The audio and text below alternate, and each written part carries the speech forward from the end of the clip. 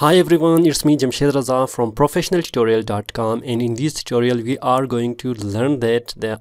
how we can check graphic card or how we can find the model of graphic card in Windows 10 PC and you can also use the same method if you are buying laptop.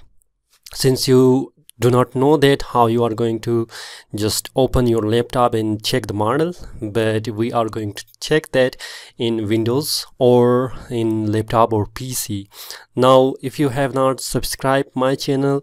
just subscribe that one thumbs up and share with your friend. Let's get started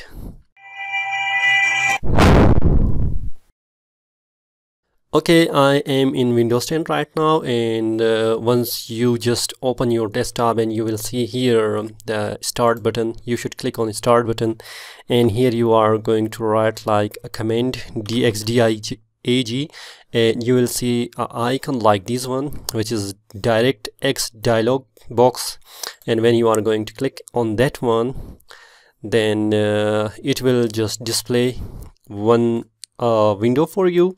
Like this one and here I have uh, display one and display two because right now I'm using two display or two monitor for my graphic work. Therefore it is just uh, giving two tab for display one and display two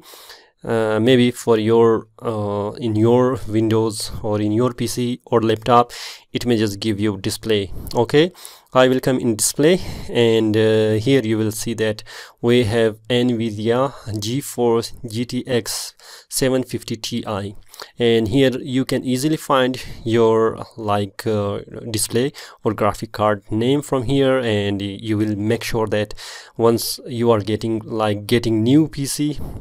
uh, or buying new PC built-in PC where you don't know which graphic card is installed in your PC or laptop you are going to just directly check like in this method I have just showed you. If you like that video just thumbs up subscribe and also share with your friends. It's me Jamshaid Raza. Give me permission to say goodbye